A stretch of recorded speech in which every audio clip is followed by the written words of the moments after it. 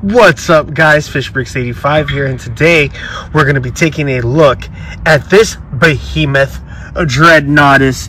Check it out, it's actually a dinosaur name I know how to pronounce.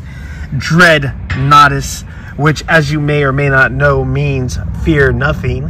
And this is one beast of a figure as you can see. Um, unfortunately, my box received some damage. I didn't notice this.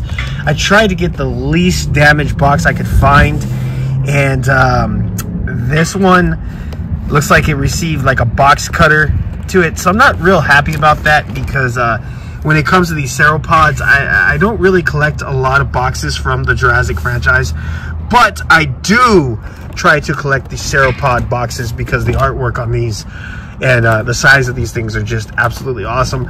I actually have my Apatosaurus box and I have my Brachiosaurus box, and I want to get the uh, new version of the Brachiosaurus once it hits stores, um, and I will probably even keep that box even though I already have one. But um, I've been looking forward to getting this thing open, so let's do that right now.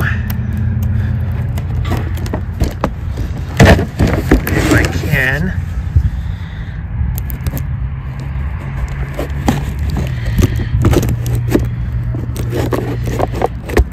right.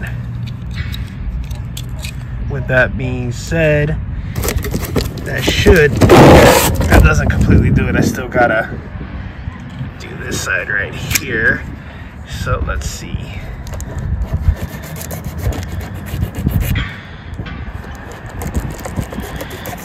There we go. And uh, this is just a design on how to put this guy together. So with that being said and done, let's pull out all the parts and build us a Dreadnoughtus. Wow, that thing is beautiful.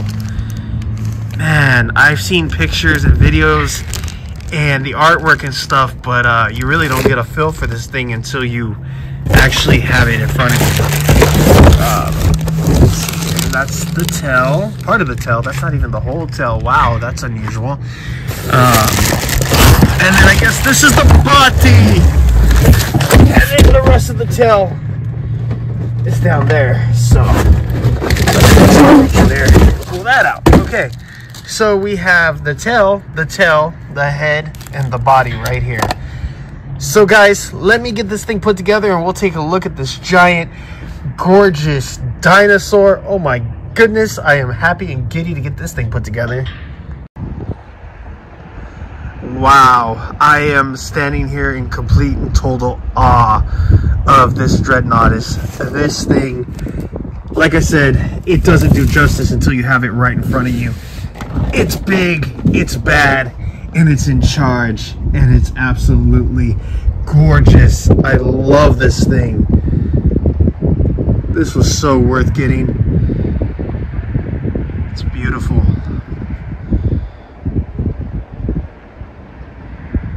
Let's just take a minute just in awe of the gorgeous detail on this thing. Looks like I'm looking at it right out of the movie. This just reminds me of uh, when they were flying over in Dominion and uh, Alan said, is that, a, is that Dreadnoughtus? And the guy said, yes, as you know, uh, his name means uh, fear nothing. And I can see why. This is one of the largest sauropods. Um, this thing probably didn't have to fear a whole lot of stuff. It probably lived its life in peace. I, I would think, I don't know. I don't know if there was a lot of predators uh, trying to kill this guy or not, but uh, I can't imagine there being with the size of this thing. Um, it's got to be one of the largest sauropods. I don't know a lot about it. I haven't done any actual research. Um, but from the way the movie portrayed it and from the way it looks, I'm pretty sure. So with that being said, I want to pop up the, uh, there we go. You guys can go ahead and scan that if I can get it clear for you. Hold on. I know blurry like that, you're not going to be able to. There we go. So you guys can uh, use the scan code and go ahead and scan this into your app real quick so that way you guys can have Dreadnoughtus. Um, I'm looking forward to actually scanning this in and seeing what it's like in the app. Um, but anyway, this has been the video, you guys. And this is the beautiful, gorgeous Dreadnoughtus. And this thing is absolutely amazing and outstanding. fantastic. Uh, I have no words for how gorgeous this thing is. I absolutely love the colors, everything about this. Uh, I'm really looking forward. This is gonna really help me with my pictures and my videos, and I look forward to doing some stuff with Dreadnoughtus. Let's close the mouth on that. Uh, the head can actually move up and down and side to side, but uh, thank goodness the joints are actually pretty stiff, and uh, I don't want to have to worry about loosening them up, so I'm not gonna show on camera, but you can see there's a joint right here and it moves side to side, and then there's a joint right here to move up and down. And then the tip of the tail actually had to be connected to the rest of the tail and it can actually turn and move. Um, so we get a little bit more function, a little bit more joints and movability on uh, this one than we did the other two sauropods. But uh, Mattel is just knocking it out of the park with their sauropod game. Um, these are the, the type of figures and dinosaurs we wanted as children and now as an adult to see this come true. Like, why would I not buy this? Why would I not fulfill my uh, childhood dreams as an adult with these figures? And I'm just so happy Mattel's doing this for us. So, with that being said, guys, FishBrix85, you know what it is.